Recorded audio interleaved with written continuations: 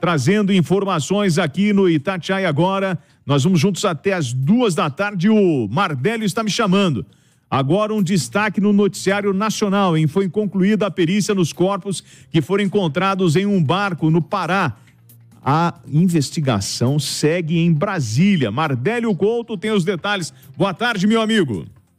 Exatamente, Travassos. Perícia concluída. Boa tarde para você, para o ouvinte que nos acompanha. Esse trabalho contou com a participação de mais de 30 profissionais. A perícia que utilizou o padrão de identificação de vítimas de desastres da Interpol.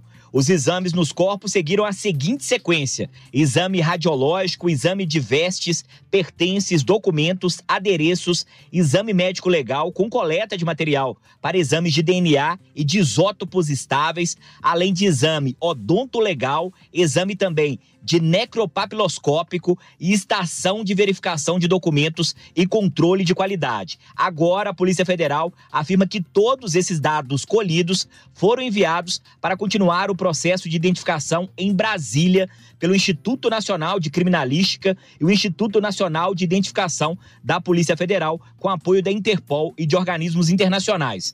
A APF, como a gente já destacou aqui no Itatiaia agora, acredita que a embarcação saiu da Mauritânia, na África, rumo às Ilhas Canárias, na Espanha, mas por algum motivo ficou à deriva e ventos e correntes do oceano podem ter sido responsáveis por trazer a embarcação até a costa do Pará. O arquipélago espanhol é considerado uma porta de entrada de refugiados ou migrantes que buscam entrar ilegalmente na Europa. Mais detalhes em itatiaia.com.br. Repórter Mardélio Couto. Mardélio, obrigado pela informação.